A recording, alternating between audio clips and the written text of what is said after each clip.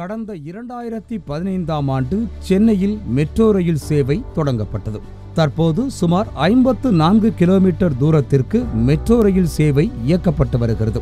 அதன் ஒரு பகுதியாக வண்ணாரப்பேட்டை முதல் விம்கோ நகர் வரையிலான ஒன்பது கிலோமீட்டர் மெட்ரோ ரயில் சேவை விரிவாக்கப் பணிகள் கடந்த இரண்டாயிரத்து இருபத்தி ஓராம் ஆண்டு நிறைவு பெற்றன. இதனையடுத்து மெட்ரோ ரயில் சேவையை பிரதமர் நரேந்திர மோடி நேரில் வந்து தொடங்கி வைத்தார். இருப்பினும் திருவற்றியூர் தேரடி மற்றும் விம்கோ நகர் பணிமனை நிறுத்தங்களில் கட்டுமான பணிகள் நிறைவடையாததால் அங்கு ரயில்கள் நின்று செல்லவில்லை.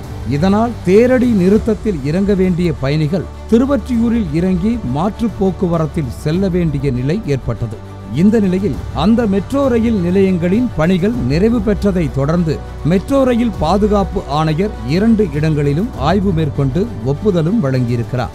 இதனையடுத்து தற்போது அந்த இரண்டு பணிமனை மெட்ரோ ரயில் நிலையங்களும் பயன்பாட்டிற்கு வந்துள்ளன. அங்கு பயணிகளுக்கு சிறப்பு சலுகையாக ஒரு மாத காலத்திற்கு இலவச பார்க்கிங் வசதியை சென்னை மெட்ரோ ரயில் நிர்வாகம் அறிவித்துள்ளது.